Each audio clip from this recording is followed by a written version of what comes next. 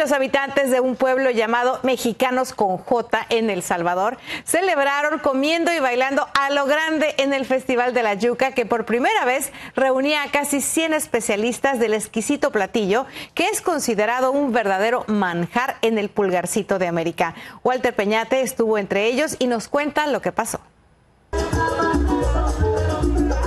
Una fiesta con color y sabor vivió la población de mexicanos en El Salvador, que celebró el sabroso Festival de la Yuca, uno de los platillos típicos más apetecidos por los salvadoreños. Mexicanos es yuca, hablar de mexicanos es hablar de donde se hacen los mejores platillos de yuca con su merienda pescadita y con las innovaciones que ahora traen nuestros emprendedores. Debido a la pandemia, los salvadoreños no habían celebrado esta fiesta gastronómica, que este año provocó largas filas de comensales que comieron hasta saciarse.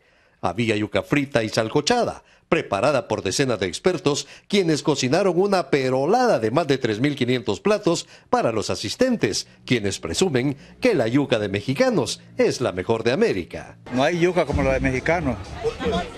El sabor, la fritada, todo es bien rico, los chicharrones. Pero lo bueno es poder este, compartir con los vecinos, con amigos y con familiares que uno tiene hasta tiempo de no verse.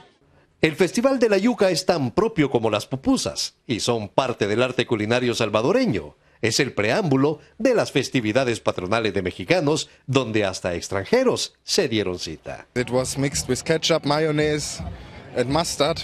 It is uh, good, loco, as they call it.